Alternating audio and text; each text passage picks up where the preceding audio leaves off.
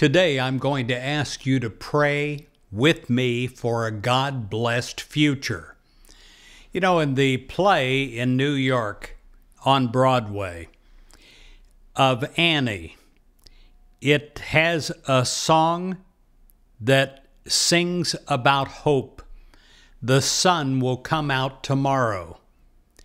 If you're in a dark tunnel going through a tremendous problem, you can keep going if if you see the light at the end of the tunnel. And then you know that there is hope. I there's a saying i think it's attributed to Winston Churchill that says if you're in hell don't stop keep walking. Well today we pray for a bright future Dear God, in this moment of time, I ask you to touch my life. I ask you, God, to bless my future. I ask you, God, to change everything. I ask you, God, to change me. God, I pray that you will prepare me in mind and body for the future good that is to come. I pray that you will give me the talents that I need for the future.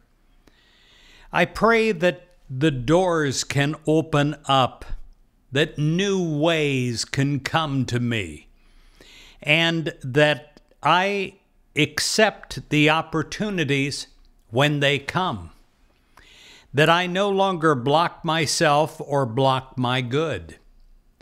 I pray, God, that you will be with me and that I'll know it every day, that I'll have the courage to walk forward, that I will have the strength to keep going, that I will know that tomorrow the sun will come up and there will be a brighter day ahead that no matter how difficult the difficulty is, that tomorrow, with you by my side, going through me, within me, giving me power, empowering me in the moment, that together we can have great success.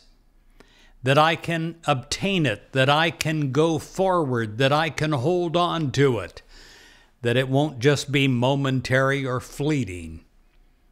God, I pray for this touch on my life, for this touch on my future.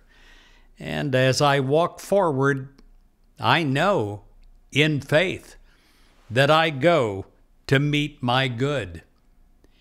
In Jesus Christ's name, I pray and I thank you. Amen.